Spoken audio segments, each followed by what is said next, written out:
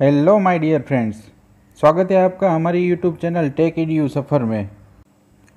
दोस्तों, इस वीडियो में मैं आज आपको जेटको पीजीवीसीएल और जीएससीसीएल में जो विद्युत सहायक जूनियर इंजीनियर इलेक्ट्रिकल के लिए रिक्रूटमेंट आई है, उसके सिलेबस का लेटेस्ट टॉपिक है कैपेसिटर्स रिएक्टर्स और रिएक्टिव पावर के मोस्ट इम्पोर्टेंस एमसीक्यू बताने वाला हूँ। वो भी इजी एक्सप्लेनेशन के साथ।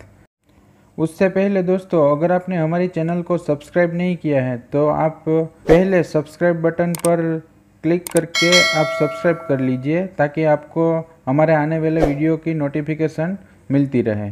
और आपको अगर इस पीडीएफ की मटेरियल चाहिए तो वो भी टेलीग्राम चैनल पर दे देंगे। टेलीग्राम चैनल की लिंक हमने नीचे डिस्क्रिप्शन में दी हुई है।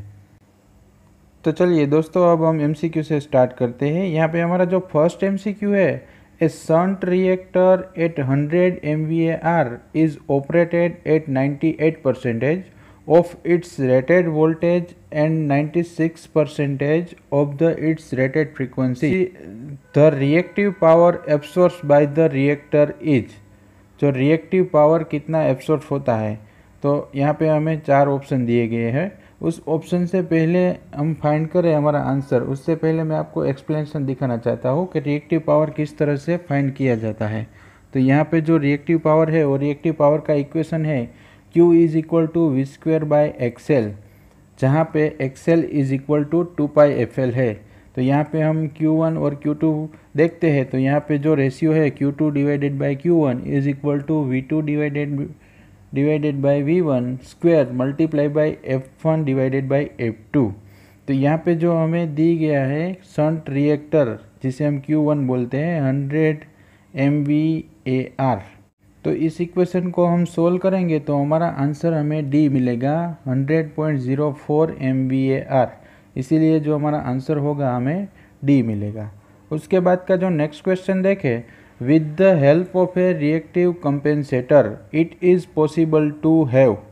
हम रिएक्टिव कंपेंसेटर्स की मदद से क्या कर सकते हैं? तो यहाँ पे हमारा आंसर है C both constant voltage and unity power factor उसके बाद जो नेक्स्ट क्वेश्चन है in case of three phase short circuit in a system जब सिस्टम में थ्री फ़ेज़ शॉर्ट सर्किट होता है, तब the power feed into the system is power किस तरह का होता है? तो यहाँ पे भी हमारा आंसर मिलेगा बी मोस्टली रिएक्टिव टाइप का हमारा जो पावर होता है, वो होगा।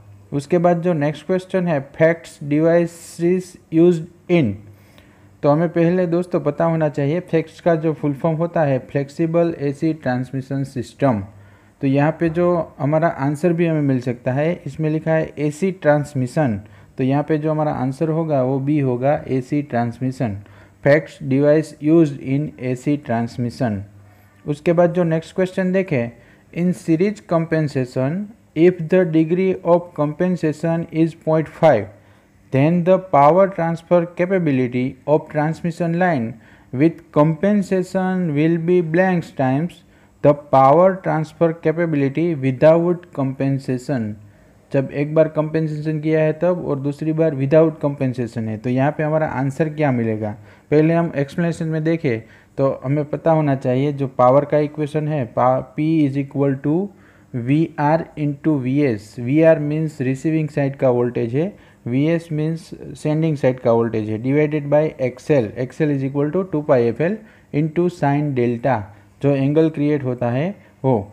तो इस इक्वेशन की मदद से हम फाइंड कर सकते हैं। यहाँ पे हमें दी गई है कंपेंसेशन डिग्री पॉइंट फाइव तो यहाँ पे जो के इज़ इक्वल टू हम पॉइंट फाइव यूज़ करेंगे। तो पॉइंट फाइव से हमारा इक्वेशन देखें तो यहाँ पे जो हमें आंसर मिलता है, वो डबल मल्टीप्लाई बाय इतना जितना मिलता है। तो यहाँ पे जो हमारा आंसर होगा, वो हमारा होगा आंसर ए आंसर हमें मिलेगा टू टू टाइम्स उसके बाद जो नेक्स्ट क्वेश्चन देखें series capacitors are use to series capacitors हम क्यों यूज़ करते हैं? तो यहाँ पे हमारा आंसर है A compensate for line inductive reactance and improve the stability of the power system power system की स्टेबिलिटी इम्प्रूव करने के लिए और इंडक्टिव रिएक्टेंस को कंपेंसेट करने के लिए हम सीरीज़ कैपेसिटर का यूज़ करते हैं। उसके बाद जो नेक्स्ट क्वेश्चन है for a hundred percent series compensate transmission line a series resonance में अकर्स एट जब सीरीज़ रेजोनेंस क्रिएट होता है तो कितनी फ्रीक्वेंसी से? तो 50 हर्ट्ज फ्रीक्वेंसी में सीरीज़ रेजोनेंस क्रिएट होता है।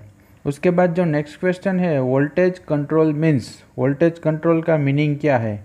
तो यहाँ पे जो हमें आंसर मिलेगा, वो हमारा सी मिलेगा। Keeping the voltage level within the allowable limits हम वोल्टेज लेवल को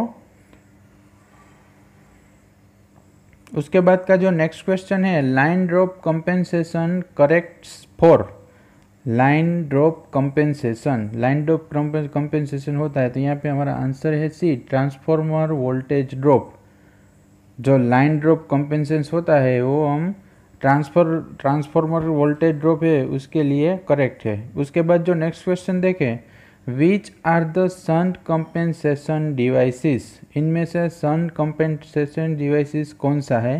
तो यहाँ पे हमारा आंसर है D S V C static VAR compensate static VAR compensation जिसे बोला जाता है। उसके बाद जो नेक्स्ट क्वेश्चन है FACTS devices are generally use for to compensate blanks of the transmission line FACTS जिसे हम फ्लेक्सिबल एसी ट्रांसमिशन सिस्टम उसके जो डिवाइसेस है, वो जनरली किससे कंपेंसेट करने के लिए ट्रांसमिशन लाइन में यूज़ किए जाते हैं? तो यहाँ पे हमारा आंसर है ए रिएक्टिव पावर को कंपेंसेट करने के लिए हम उसका फैक्स डिवाइस का यूज़ करते हैं।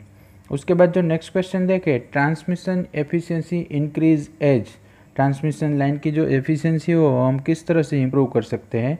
तो यहाँ पे हमारा आंसर है हमें A voltage and power factor बहुत इंक्रीज जब वोल्टेज एंड पावर फैक्टर को हम इंक्रीज करते हैं, तब ट्रांसमिशन एफिशिएंसी हमारी इंक्रीज होती है। उसके बाद जो क्वेश्चन देखें S V C static VAR compensate and STATCOM are blank devices ये दोनों कौन से डिवाइसेस है? तो यहाँ पे हमारा आंसर होगा डी संट डिवाइसेस है दोनों S V C and STATCOM उसके बाद जो नेक्स्ट क्वेश्चन देखें STATCOM is blanks regulating device. STATCOM है, वो किससे रेगुलेट करता है? तो यहाँ पे हमारा आंसर मिलेगा बी वोल्टेज को रेगुलेटिंग करने के लिए यूज़ होता है। उसके बाद जो नेक्स्ट क्वेश्चन देखें the main object of series compensation series compensation का मेन ऑब्जेक्ट क्या है? तो यहाँ पे हमारा आंसर मिलेगा हमें C reduce the voltage drop over long distance long distance में वोल्टेज ड्रॉप रिड्यूस करने के लिए हम सीरीज़ कंपेंसेशन का यूज़ करते हैं। उसके बाद जो नेक्स्ट क्वेश्चन है T C S C E J T C S C का फुल फॉर्म हमें पहले पता होना चाहिए थायरिस्टर कंट्रोल सीरीज़ कंपेंसेट तो यहाँ पे हमारा टी सी एस सी जो है, वो सीरीज़ कंपेंसेशन डिवाइस है। हमारा आंसर होगा बी उसके बाद जो नेक्स्ट क्वेश्चन देखें triple S C E J series compensate है, जो सीरीज़ कंपेंसेट एस सी का मतलब है सीरीज़ कंपेंसेट तो यहाँ पे जो हमारा आंसर होगा, वो भी सीरीज़ कंपेंसेशन डिवाइसेस के लिए ही होगा। ट्रिपल एस है जो, है। उसके बाद जो नेक्स्ट क्वेश्चन देखें transmission interconnection is done for blanks जो ट्रांसमिशन लाइन में हम इंटरकनेक्शन करते हैं, वो किसके लिए है? तो यहाँ पे हमारा आंसर होगा D all of the above economic reason के लिए to reduce the cost of electricity electricity की इस कॉस्ट को रिड्यूस करने के लिए।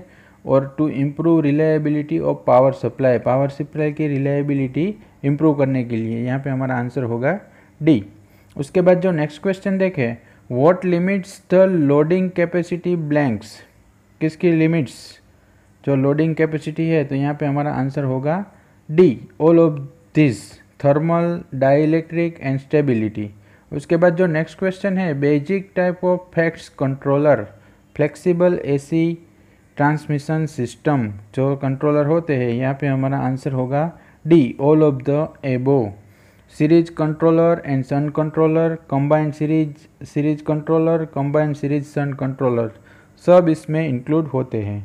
उसके बाद का क्वेश्चन है load compensation is the management of blank to improve the quality of supply in AC power system कौन से पावर के लिए हम इम्प्रूव करते हैं? तो यहाँ पे हमारा आंसर है बी रिएक्टिव पावर को इम्प्रूव करने के लिए हम करते हैं। उसके बाद जो नेक्स्ट क्वेश्चन है power factor correction usually means the practice of generating blank as close as possible to the blank which requires it rather than supplying it from a remote power station तो यहाँ पे हमारा answer हमें मिलेगा C reactive power and load उसके बाद जो next question देखें what is the necessity of compensation compensation की ज़रूरियात क्या है?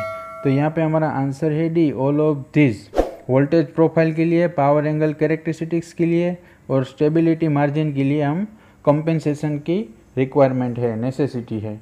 उसके बाद जो नेक्स्ट क्वेश्चन देखें T C S C is a capacitive reactance compensator, which consists of blank capacitor bank A thyristor control reactor control reactor TCR तो यहाँ पे हमारा आंसर होगा, वो बी होगा सीरीज़ एंड सॉन्टेड उसके बाद जो नेक्स्ट क्वेश्चन है A silent future of STATCOM are STATCOM का जो साइलेंट फ्यूचर है, वो क्या है? तो यहाँ पे हमारा आंसर होगा D all of this compact size है डायनेमिक रिस्पॉन्स है वाइड रेंज कंट्रोल है. वो सब स्टेटकॉम के साइलेंट फ्यूचर है. उसके बाद जो नेक्स्ट क्वेश्चन देखें objective of load compensation load compensation का ऑब्जेक्टिव क्या है? तो यहाँ पे हमारा आंसर मिलेगा हमें D all of this power factor correction के लिए इम्प्रूवमेंट ऑफ़ वोल्टेज रेगुलेशन के लिए, और लोड बैलेंसिंग के लिए हम लोड कंपेंसेशन का यूज़ करते हैं। उसके बाद जो नेक्स्ट क्वेश्चन है list of static shunt compensators इनमें से स्टैटिक संट कंपेंसेटर कौन से हैं? तो यहाँ पे हमारा आंसर है C S V G S V C T C R and T S R thyristor switch reactor thyristor control reactor static VAR compensator static VAR generator वो सब हमारे स्टैटिक संट कंपेंसेटर है। उसके बाद जो नेक्स्ट क्वेश्चन है list of static series compensator इनमें से स्टैटिक सीरीज़ कंपेंसेटर कौन है? तो यहाँ पे हमारा आंसर है B G C S C T C S C T S S C हमें पहले फुल फॉर्म एक बार पता होना चाहिए, तभी हम आंसर फाइंड कर सकते हैं। उसके बाद जो नेक्स्ट क्वेश्चन देखें without any control power flow is based on the inverse of the various transmission line blanks तो यहाँ पे हमारा आंसर होगा इम्पीडेंस आंसर होगा हमें सी लाइन इम्पीडेंस उसके बाद जो नेक्स्ट क्वेश्चन है संट कनेक्टेड, फिक्स्ड और mechanically switch blanks are applied to minimize line over voltage under light load condition तो यहाँ पे हमारा जो आंसर मिलेगा वो रिएक्टर मिलेगा switch real reactors switch reactors तो यहाँ पे जो पूरा सेंटेंस होगा वो संट कनेक्टेड फिक्स और mechanically switch reactor are applied to minimize line voltage under light load condition. उसके बाद जो नेक्स्ट क्वेश्चन है which year the first STATCOM was implemented पहला स्टेटकॉम कब इम्प्लीमेंट हुआ था? तो यहाँ पे हमारा आंसर है ए जनवरी 1980 में पहला स्टेटकॉम हुआ, वो इम्प्लीमेंट हुआ था। उसके बाद जो नेक्स्ट क्वेश्चन है the series compensator is a blank of the shunt compensator series और संट कैपेसिटर क्या है? तो रिसिप्रोकल है। The series compensator is a reciprocal of the shunt compensator उसके बाद जो नेक्स्ट क्वेश्चन है S V S stand for S V S का फुल फॉर्म क्या है?